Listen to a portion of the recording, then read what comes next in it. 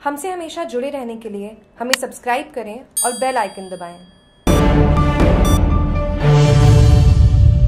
वरिष्ठ उप शासन सचिव गृह विभाग भवानी शंकर दो दिवसीय बाड़मेर दौरे पर। दौरे के दूसरे दिन भवानी शंकर ने जिला कारागृह का निरीक्षण कर व्यवस्थाएँ जांची। इस दौरान जिला कारागृह पहुँचने पर जवानों ने गार्ड ऑफ़ ऑनर दिया। इस दौरान मीडिया से मुखातिब होते हुए कहा कि जिला जेल की व्यवस्थाएँ संतोषजनक पाई गई है। इसके साथ ही जिला कारागृह की ज़मीन पर अतिक्रमण को लेकर कहा कि जिला कलेक्टर को निर्देश देकर अतिक्रमण हटवाने के निर्देश दिए गए।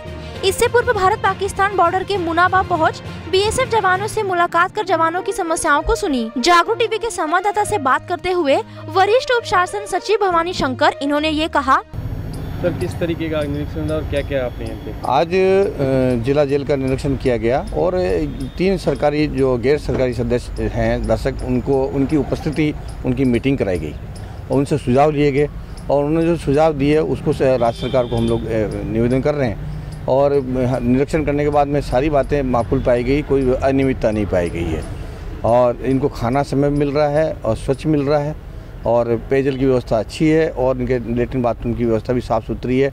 बस ये फोगिंग करवाना है जो निर्देश उनको दे दिए गए हैं। गैर से उन्होंने कहा कि फोगिंग की व्यवस्था करा देते हैं और ये जेल डिस्पेंसरी में टाइमली इनको मेडिसिन की व्यवस्था समय पर दी जा रही है। जेल की ज़मीन पर जो अतिक्रमण वाली हाँ जेल की ज़मीन पर अतिक्रमण का प्रस्ताव माननीय कोर्ट में विचाराधीन है जिसके लिए निर्देश कोर्ट ने डायरेक्शन दे दिया अलाउ कर दिया अ, निरीक्षण कलेक्टर साहब को। निर्देश दे दिए गए हैं। और उसके आधार पर एसडीओ साहब ने तहसीलदार जी को उस ज़मीन को खाली कराने के लिए आदेश दे रखे हैं। जागरूक टीवी के बाड़मेर से ठाकरा मेघवाल की रिपोर्ट।